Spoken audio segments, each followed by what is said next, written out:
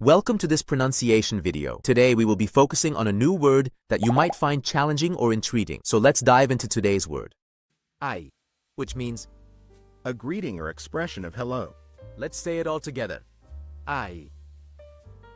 Ay. Ay. One more time.